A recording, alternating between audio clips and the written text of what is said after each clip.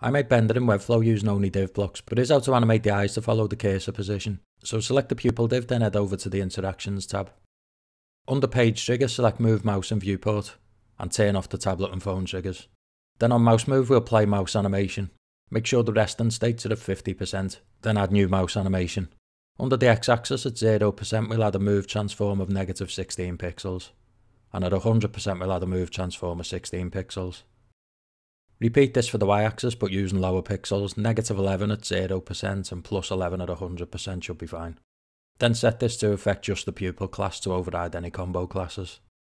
Hit save, and that's how to animate Bender's eyes in Webflow. Don't forget you can clone this project, link will be in the description.